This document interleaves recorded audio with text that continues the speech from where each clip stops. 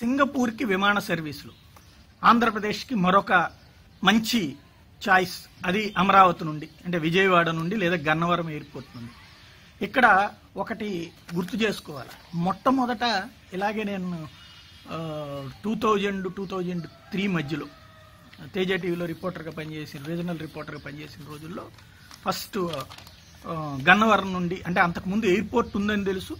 అంతకు మొదట్లో అదే ఎయిర్పోర్ట్లో ఈ గ్లైడర్ ట్రైనింగ్స్ ఎన్సీసీ క్యాడెట్లకి ఫ్లైట్ ట్రైనింగ్లు ఇచ్చేవాళ్ళు. అవి కొన్ని కవర్ చేసాం. ఆ సందర్భంలో మొత్తం ఎయిర్పోర్టు విశాలమైన ఎయిర్పోర్టు బ్రిటిష్ వాళ్ళ టైంలో నైట్ ల్యాండింగ్ ఫెసిలిటీ ఉన్నటువంటి అద్భుతమైనటువంటి ఎయిర్పోర్టు ఎలా నిరర్ధకంగా పనిచేసిందో చూసాం. అదే దాంట్లో కేవలం ఎన్సీసీ ఎయిర్పోర్ట్ కింద మిగిలిపోయింది అది. ఆ- ట్రైనింగ్ ఎయిర్పోర్ట్ కింద. అట్లాంటిది కాస్త చంద్రబాబు హయాంలో అప్పుడు దక్కన్ ఎయిర్వేస్ ఫస్ట్ విమాన సర్వీసులు హైదరాబాద్కి ప్రారంభించినప్పుడు ఫిఫ్టీ పర్సెంట్ ఛార్జెస్ భరించాల్సి వచ్చింది. అప్పుడు కేంద్రంలో వాజ్పేయి టైంలో ఉన్నటువంటి సందర్భంలో వాళ్ళతో వాళ్ళతో డబ్బులు ఇప్పించేటువంటి ఒప్పందం కుదిర్చి తద్వారా కొంత రాష్ట్ర ప్రభుత్వం కొంత కేంద్ర ప్రభుత్వం భరించేటట్టు చేసి ఫ్లైట్స్ బిగిన్ చేశారు. అప్పట్లోనే చంద్రబాబు నాయుడికి అలిపిరి ఇన్సిడెంట్ జరగడం ఇన్సిడెంట్ జరిగినటువంటి సందర్భంలో అదే ఫ్లైట్స్లో ఫస్ట్ మొట్టమొదట నేను ఎయిర్ ఇది విమానయానం చేసింది కూడా. అంటే అంతకుముందు ఎన్సీసీ విమానంలో తిరిగాను. పబ్- ఫస్ట్ టైము పబ్లిక్ తిరిగేటువంటి విమానాలు తిరగడానికి అవకాశం ఏర్పడింది. అక్కడికి తీసుకెళ్ళారు చంద్రబాబు నాయుడిని. చూడడానికి అదే ఫ్లైట్లో ఆ ఫిఫ్టీ పర్సెంట్ టికెట్స్ ఎట్లా గవర్నమెంట్ బేర్ చేస్తుంది కాబట్టి అప్పుడు గద్దె రామ్మోహన్ ఎంపీగా ఉండేవారు అప్పట్లో ఒక విమానం దాంట్లో దాదాపుగా ఒక ఆరు నెలల నుంచి ఏడాది వరకు చూసుకుంటే ఓ పది మందో ఐదుగురు అనుకునే అప్పుడు వార్తలు రాసుకునేటప్పుడు గుర్తుండేది. ఒక నలుగురు వచ్చారు వాళ్ళ ఐదుగురు ఎక్కారు. ఎనిమిది మంది ఎక్కారు పది మంది ఎక్కారు అనేటువంటి తర్వాత నిండింది అన్నారు.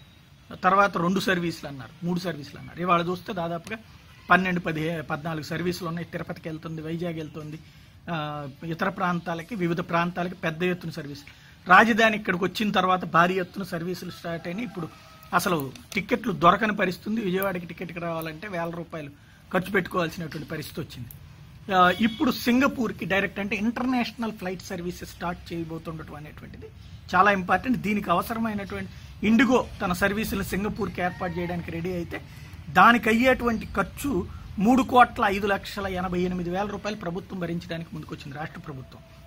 అంటే టికెట్లకు మొదట్లో లాసెస్ ఉంటాయి కాబట్టి బుక్ చేసుకునేటువంటి వాళ్ళు తక్కువ ఉంటారు కాబట్టి ఆ అమౌంట్ భరించడానికి రాష్ట్ర ప్రభుత్వం ముందుకు రావడం చాలా మొదావహం అంటే ఒక ఇంటర్నేషనల్ సర్వీసెస్ సిస్టమ్ ప్రారంభమైంది. ఇప్పుడు వీళ్ళు బిగిన్ చేసి ఇది సక్సెస్ అయిందంటే రేపు పొద్దున మరిన్ని సర్వీసులు రావడానికి వీలవుతుంది. అమరావతి ఎదుగుదలకి అంటే ఆంధ్రప్రదేశ్ ఎదుగుదలకి నేరుగా ఇంటర్నేషనల్ సర్వీసెస్ వచ్చినప్పుడు ఒక సులభం ఉంటుంది. అందులో సింగపూర్ని ఇక్కడ ప్రభుత్వం ఎందుకు తీసుకొచ్చిందంటే ప్రధానంగా ఇండస్ట్రియలిస్టులు ఎక్కువ మంది అట్టించి వస్తుంటారు. పెట్టుబడిదారులు ఎక్కువ మంది అట్టించి వస్తారు కాబట్టి. కానీ ఇక్కడ సింగపూర్తో పాటుగా దుబాయ్కి యుఏఈకి సర్వీసెస్ని ఏర్పాటు చేస్తే బాగుంటుంది. అది ఎందుకంటే మనకి కడ కడప రాయలసీమ ప్రాంతం నుంచి కానీ లేకపోతే ఉత్తరాంధ్ర ప్రాంతం నుంచి కానీ ఎక్కువగా అరబ్ కంట్రీస్లో ఉద్యోగాలు చేస్తున్నటువంటి వాళ్ళు ఎక్కువ మంది ఉన్నారు. వాళ్ళందరికీ కూడా అటు వెళ్తే బెంగళూరు వైపు లేకపోతే చెన్నై వైపు లేదంటే హైదరాబాద్కి వెళ్ళినో విమానాలు ఎక్కాల్సి వస్తుంది.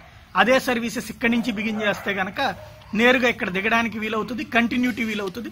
సర్వీసెస్ పరంగా ఇంకా మరికొంతమంది ముందుకు రావడానికి ఎందుకంటే ఎక్కువ ఆక్యుపెన్సీ ఉన్నప్పుడు సహజంగా మిగతా వాళ్ళు కూడా సర్వీసులు పెట్టడానికి ముందుకు వస్తారు. సింగపూర్ కంటే కూడా సింగపూర్కి బడాబాబులు వెళ్ళడానికి ఎక్కువ ఉంటుంది. అక్కడికి మామూలు వాళ్ళు వెళ్ళడానికి తక్కువగా ఉంటుంది.